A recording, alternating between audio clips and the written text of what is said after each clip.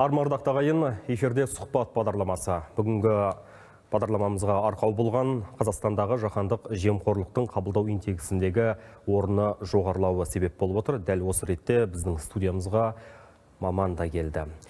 Дәлірек айтсақ, Дидар Сумағұлов, Әділдік жолы Республикалық қоғамдық бірлестігінің атқарушы директоры. Дидар мырза, қалыңыз қалай? Жақсы, рахмет. Біз Қазақстан Transparency International рейтингінде осы Қазақстанның жаһандық а, әлеуетте жемқорлықпен, сыбайлас жемқорлықпен күресте индексінің жоғарылағанын байқап отырмыз. А, Жалпы осы әділдік жолы республикалық қоғамдық бірлестігінің а, жұмысы және ол қабылдаған реформалар жөнінде бастайық. Иә, расында қазіргі осы Transparency International жемқорлық қабылдау индексінің Қазақстанның орны ол бір рекорд орны деп айтуға болады. Өйткені біз өткен жылмен салыстырсақ 12 а, орынға жоғарыладық. Егер өткен жылда бізде а, 36 балл болса, осы 23 жылдың нәтижесінде 39 балл болды. Қазақстан үшін бұл өте жоғары көрсеткіш. Өйткені біз а, 29, 30, 31 балл шеңберінде жүрген мемлекет болғанбыз. 5-6 жыл, бұрын. Ал осы жылда үлкен бір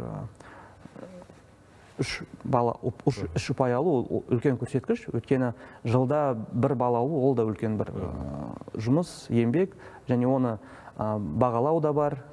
Кейбір реформаларды қабылдау қабылдамау да бар. Өйткені Transparency International индексі дегеніміз не? Бірінші кезекте ол қабылдау. Яғни жемқорлықтың нақты деңгейі емес ол халықтың бизнес өкілдерінің сарапшылардың ә, жемқорлықты қалай қабылдайды екен деген көрсететін индексі және сол индекстің ішінде ә, бір емес тоғыз әртүрлі зерттеу институттарының ә, талдаулары кіреді. Ә, тоғыз институттар өз бағыттары бойынша ә, жұмыс өткізеді әртүрлі ә, тәсілдермен ақпаратты алады сосын трансперенсиге жібереді. Transparency International сол ақпаратты алып талдап зерттеп өз ә, орташа бағасын береді. Барлық 180 мемлекетте. Және осы жылда біз ә, 180 мемлекеттің ә, 93-ші мемлекетке ә, орынға ие болдық. Өткен жылда 101 орын болды. Яғни осы рейтингке қарасақ 180 елдің жүздіктер жүздіктерден төмен ол ең жемқор мемлекеттер деп айтуға да болады. Ал біз сол жүздіктен шықтық құдайға шүкір. 93 орындамыз. Және де жалпы одан жоғары балл аламыз деген сеніміміз бар. Өйткені қазақстанда қадам қадаммен әртүрлі рефо- реформалар жасалынады. Transparency International өзінің айтуынша олар өздері пікір білдірді неге қазақстан өсті. Өйткені бірінші кезекте қаңтардан кейін бізде өзіміз білеміз қаншама жоғары лауазымдағы тұлғалар ұсталынды иә жемқорлық күдікпен. Екіншіден жымқырған активтердің қайтару жұмысы да бар. Қателеспесем 900 миллиард теңгеден астам қаражат қайтарылды осы екі жылдың ішінде үшінші 900 миллиард. 900 900 миллиардтан астам қаражат. Үшіншіден, Transparency International айтқандай, Қазақстанда а, антикордың жасалған а, онды реформалар бар, сондықтан біз оны жоғары бағаладық. И Ең соңғы а, менің ойымша, ең төртінші бағыт ол жалпы азаматтық қоғамның белсендігі артылды. Қазіргі таңда мысалы Жақсы, оған келеміз иә, қазір. А, Transparency International бұл қай мемлекетте рейтингті кім жасайды?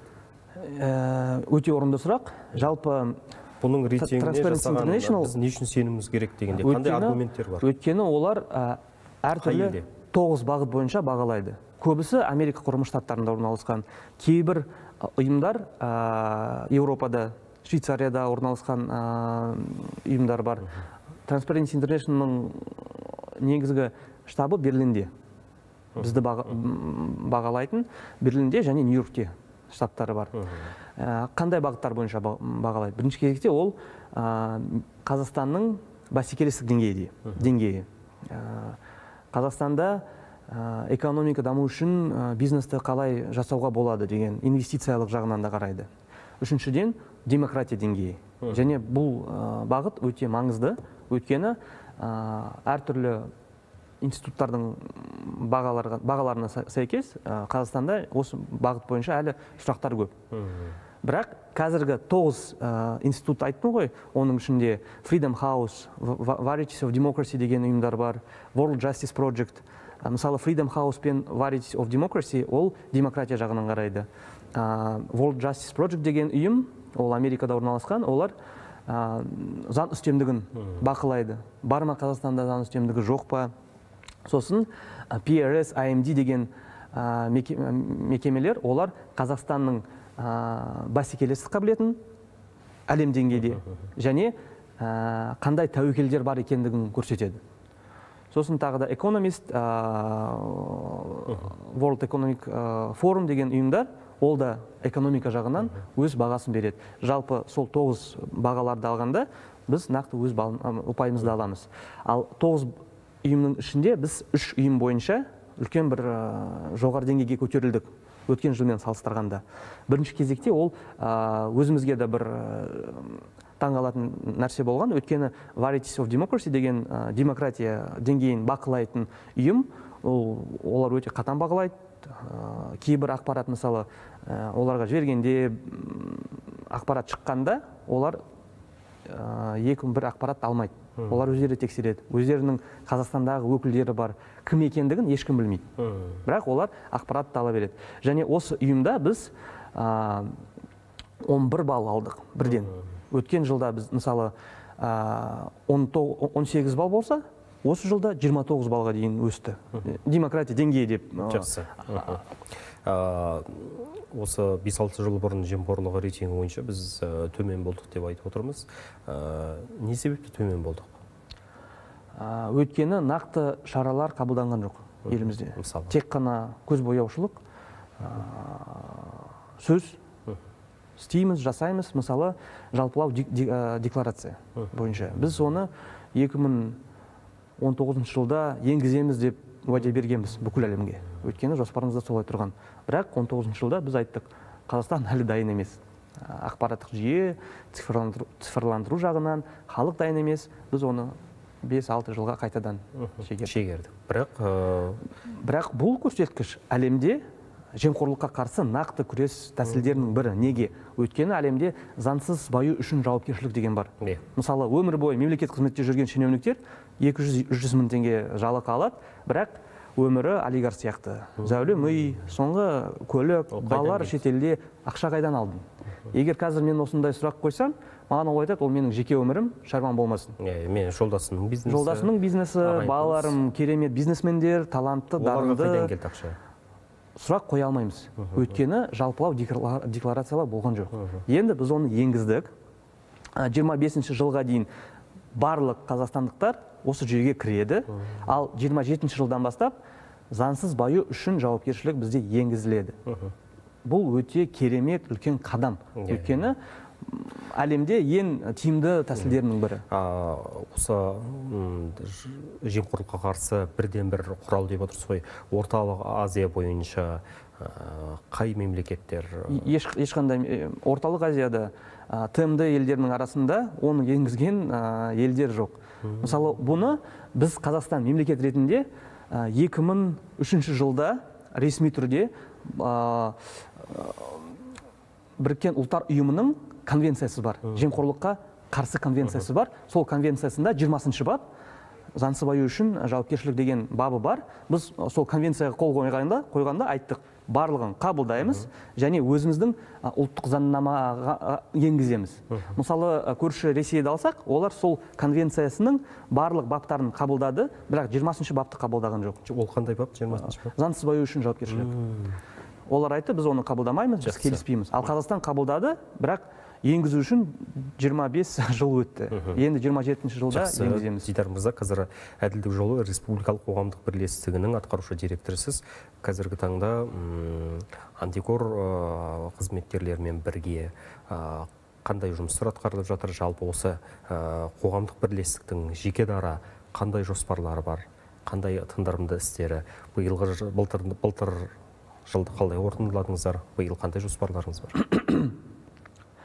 Егер осы Transparency International қайта, қайтадан келсек олар өз ақпаратында қазақстанда азаматтық белсендік артты деп хабарлама берді. Нақты осы сыбайлас жемқорлыққа қарсы саласында неге? Яғни қоғамның жауапкершілігі. Иә ол бірінші кезекте қоғамның жауапкершілігі. Екіншіден мен осы қоғам өкілі ретінде қазақстанда кез келген азамат пен кез келген ұйымға осындай жұмысты жасауға мүмкіндігі бар. Өйткені ә, сыбайлас жемқорлыққа қарсы іс қимыл заңында нақты баптар көрсетілген кез келген ә, жеке тұлға болсын ұйым болсын осы жемқорлыққа қарсы жұмыс жаса- жасай алады. Антикормен бірге. Бұл ретте оны түсіну керек. Сіз бірнеше сұрақ қойдыңыз ғой маған иә? Ол дұрыс сұрақтар. Жалпы үкіметтік емес ұйым осындай жұмысты қалай атқара алады? Иә. әрине о- өзі атқара алмайды тек қана антикормен бірге. Ол бірлескен жұмыс. Өйткені уәкілеттігі бар құзыреті бар. Иә. сол құзырет шеңберінде олар жұмыс жасайды. Біз тек қана оларға оқ береміз деп айтқандай. Ақпарат береміз анықтаймыз. Халықпен сөйлескенде халықтың сенімі бізге артырақ міне мына жерде заңсыздық анықталып иә жатыр. анықталып жатыр. Осыған ауылда мектеп салынған жоқ немесе ә, біздің ә, мектеп директоры ә, жалған қызметкерлерді тіркеп ақшаны алып жатыр. Жол салынды бірақ жар, алты айдан кейін ә, шұрық тесік әртүрлі осындай бағыт бойынша өзімізге ақпарат түседі халықтан. Мысалы қандай нәтижелер бар дедіңіз екі жарым жылда бізге сегіз мыңнан астам өтініш түсті. Сегіз мың азаматтардан. Біз оны қабылдап өз деңгейімізде тексеріп және өзіміздің атымыздан антикорға ішкі аудит мемлекеттік ішкі аудит департаментіне ә, экономикалық тергеу департаментіне әртүрлі құзыреттілігі бойынша біз заңгер болғандықтан бізде 20 филиалымыз бар әділдік жолы деген 14-63 колл центр бар. Кез келген азамат бізге тегін хабар, хабарласады. Оған ә, қоғам ә, тегін заңды көмек немесе жемқорлық туралы ақпарат бізге береді. Біз оны одан әрі өзіміз деңгейімізде тексеріп антикорға жібереміз. Ақпарат берген адамның аты жөні барлық аты жөні ә, кім қай қайда жұмыс істейді барлығы жүз пайыз жасырын құпия түрде. Өйткені ә, сол жауапкершілікті біз өзімізге аламыз. Кез келген ақпаратты біз тексереміз біріншіден. Егер көріністері болса біз өз құқығымызды іске асырамыз және уәкілетті органға жүгінеміз. Ә, елімізде бұл да үлкен ақпарат. Осы сыбайлас жемқорлыққа қарсы ақпарат бергені үшін сыйақы да бар. Мысалы ә, 5 миллион теңге пара туралы ақпарат берсең сол параның ә, 10 пайызын ала аласың. Бірақ ә, 13 миллион теңгеге дейін сыйақы алуға болады. Бірақ сол ақпарат ә, дәлелдену керек. Сосын Нақты бұл нақты ә, осы іс бойынша сот үкімі күшіне ену керек.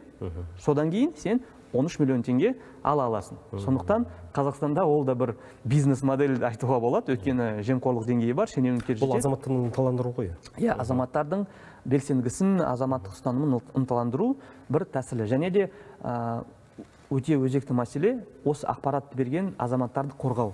Иә. өйткені олар хабарласады әкімшілік болсын мектеп болсын бізде қазір қаншама мұғалімдер бар. Ә, директор есепшінің тарапынан осындай бұзушылықтар болды. Ә, заңсыз сыйақы берді өзіне. Ә, жұмыста мүлдем жасамайтын кісілер бар. Ай, ай сайын жалақы алады деген ә, ақпаратпен шығады. Бірақ сосын оларға мектеп директорлары ә, сотқа береді жұмыстан шығарады заңсыз. Қудалайды. Құдалайды иә буллинг бар. Сондықтан антикордың бір ә, осы ақпарат берген тұлғаларды қорғау деген бағдарламасы бар. Жиырма үшінші жылдың наурыз айынан бастап жемқорлық бойынша ақпарат берген тұлғаларды бірден жұмыстан босатуға болмайды деген заң күшіне енді.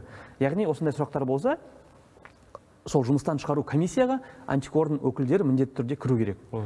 Бірақ осы бағыт бойынша әлі дұр- жұмыс дұрыс деңгейде емес. Өйткені бізде мысалы қазір түркістан облысы бойынша хабарласқан кейбір азаматтар бар. Нақты жемқорлық туралы айтады құжаттарды алып келеді оларды жұмыстан шығарады. Қазір екі нақты тұлға бар. Жұмыстан шығарылды және де олар антикорға жазып антикор ол өзіне қылмыстық ашты. Және қазір олар түркістан шеңберінде осындай әрекеттермен? Өйткені ол да бір қысым жол. Арызды ал біз барлық ә, істерді тоқтатамыз деген мәселе бар. Әрине ол ә, дұрыс емес және ә, қолданыстағы заңнамаға қайшы. Сондықтан осындай фактілер де бар.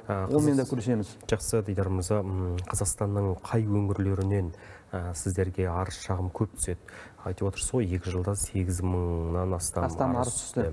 Қай аймақтарда осындай ә, жемқорлық фактілері көп анықталып отыр және нақты қай салаларда мәселен медицина білім беру деген секілді? Мысалы қай саланы десек ол білім саласы. Неге? Өйткені бұл білім ұйымдары өте көп. Он мыңнан астам мектеп бар балабақшалар бар және осы салада мұғалімдер өте белсенді. Не себепті мұғалімдер жемқорлыққа құмар болып тұр? Олар мысалы мектеп бес адам мектепке ешқашан келмейді бірақ жалақы алады. Балалар сол мұғалімдерден сабақ алмайды. Ә, психолог болады әлеуметтік саласындағы жұмыс ә, әдіскер болады. Бірақ барлығы олар мұғалімдер көреді "Қа- қайда әдіскер қайда психолог.